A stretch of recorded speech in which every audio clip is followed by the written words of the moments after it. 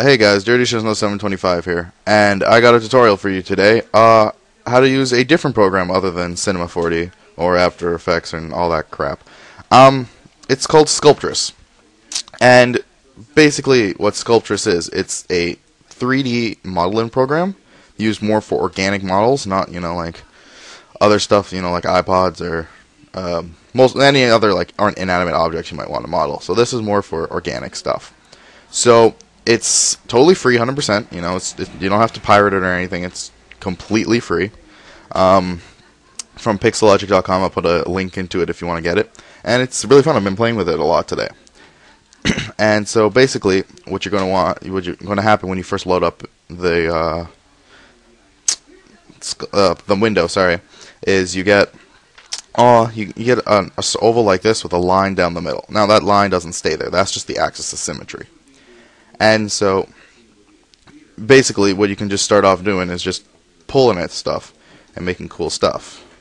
I don't want that. And um, looks pretty interesting. So I'm, I'm going to go over all the tools for you right now. And yeah, so the first thing you might want to notice is material. You can you can change the material to what you want. So we have a glass orb here. Um, I haven't there's, there's a lot of materials here. I haven't even gone through all of them. And plus, you can update normals normals. Um, but I'm just going to stick with the regular default. Default gray.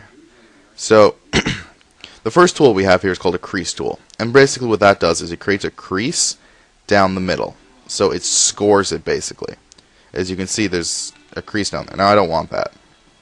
So that, it basically makes a crease. I haven't really found a use for the crease tool yet. You know, you can make a smiley face. Um, oops said.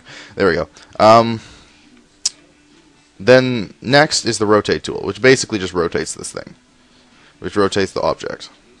Then the next is scale. You can scale the object and such. You can pull on it to scale it. And you can also rotate by just holding off the object. So I'm going to put this back to normal. Okay. Next is the, I'll finish off with the manipulation tools, and these next is the grab tool, so you can move it and such when you have multiple objects in here. Next is the draw tool. And the draw tool basically just pulls out whatever you're going, you're moving on. So as you can see, I made these two discs, discs thingies. I'm gonna call eyes. Um, yeah, that's basically what the draw tool does. It pulls out. um, yeah, I know I'm immature. And the next one's flattened, which I'll go back and pull something out here. And so we have those items, but we don't want we want to flatten part of them. So we're going to go on the inside.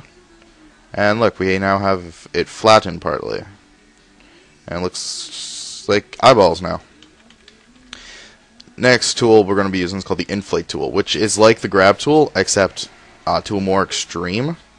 And so you can pull out, you can make like arms with this and stuff. So right now the guy's like mighty double horns, and uh, you know we can make arms here. And uh, yeah, actually I'm to keep this. Uh, I'm to like that. Um, next is the pinch tool, which basically just I, I haven't really like it. It's kind of hard to use. I'm not it, like it. What it does is it makes a finer point on whatever you're using.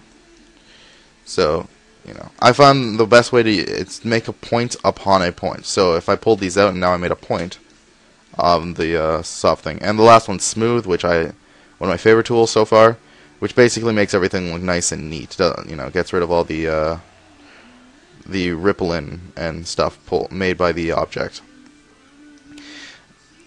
And uh, so here's those are basically all the tools, and the rest of these are also controlled by here like wire. I can make a wireframe. See what it looks like on wireframe, which will become useful. I can mask uh, wireframe. Um, so yeah, that's that's the basic modeling for this.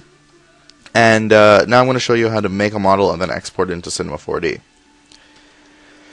So, um, what say we have this our model. I'm just going to create a little bit more.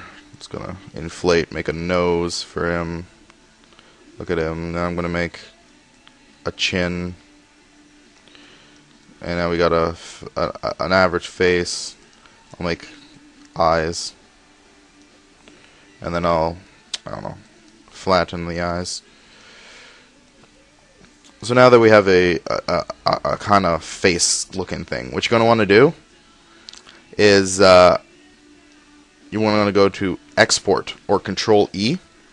And what this is going to do is going to export it in an object file, OBJ file, which Cinema 4D recognizes. So I'll just put this as test. Test object, and yeah, whatever. Save over that last one, it wasn't very good. And now we have this. So we go to our desktop, and you see our test object is right here. So what you're going to want to do is load up Cinema 4D, and you're going to want to just drag this in and scale. It's going to be one centimeter. So let's just start it off with one centimeter. And there we go. Our object's now in uh, Cinema 4D, so it can be used to, uh, you know, can't really animate it because you'd have to make multiple parts to animate it, and I don't think that would be that difficult. But uh, you know, it's cool if you want to make like an organic. Whoa, whoa, okay. Where the hell did he go? Oh, there. Okay, there he is. Um, so yeah, there he is. Damn it.